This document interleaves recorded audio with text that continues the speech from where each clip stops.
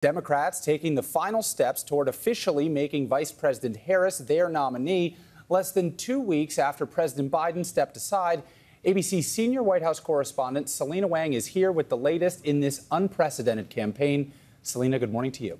Hey, good morning, Will. It has been a remarkable two weeks for Vice President Harris. In that time span, she's united the party behind her and earned enough votes to become the Democratic nominee. Now, all eyes turn to who she'll pick for her running mate. Her announcement could come any day.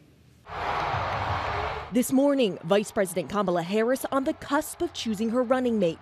Sources tell me she's meeting with some top contenders in D.C. this weekend. Her big decision coming after she made history on Friday, securing enough votes to clinch the Democratic nomination for president, becoming the first black woman, the first Asian American to be at the top of a major party ticket. I am honored to be the presumptive Democratic nominee for President of the United States. Harris calling into the virtual roll call to celebrate the moment. You know, it's not going to be easy but we're going to get this done. And as your future president, I know we are up to this fight.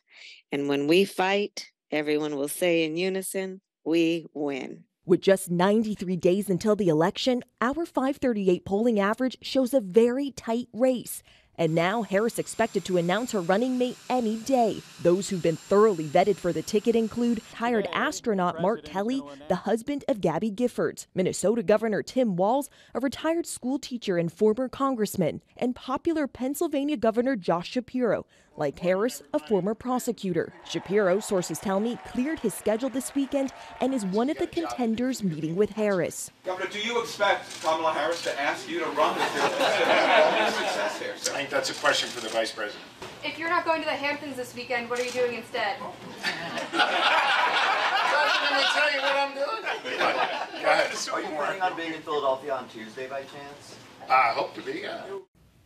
Vice President Harris is wasting no time. Next week, along with her new running mate, she'll be hitting seven battleground states in just five days. And former President Donald Trump is also hitting critical battlegrounds. Tonight, he's rallying with J.D. Vance in Georgia. Guys? A busy campaign weekend, a busy week ahead. Selena, thank you so much.